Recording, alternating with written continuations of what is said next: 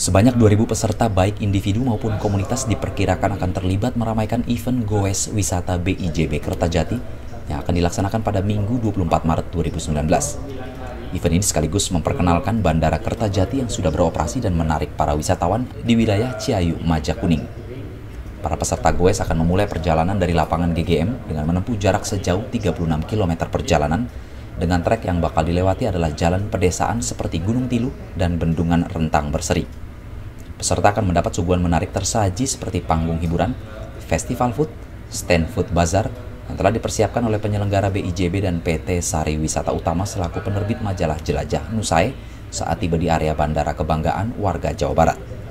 Event ini juga disupport unsur dunia penerbangan yang memberikan sponsor langsung pada kegiatan Goes Wisata. Upaya ini dilakukan PT BIJB untuk terus memperkenalkan Bandara Kertajati kepada masyarakat luas, sehingga dapat selaras terhadap meningkatnya jumlah penumpang yang terbang dari bandara ini, di mana rute domestik akan bertambah di penghujung semester 1, sedangkan untuk penerbangan internasional, masyarakat Jawa Barat bisa merasakan terbang secara direct menuju Jeddah untuk layanan umroh.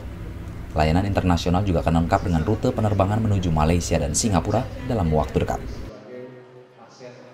ada perintah dari Pak Gubernur agar semua kegiatan-kegiatan Pemprov itu dicari banyak kuning.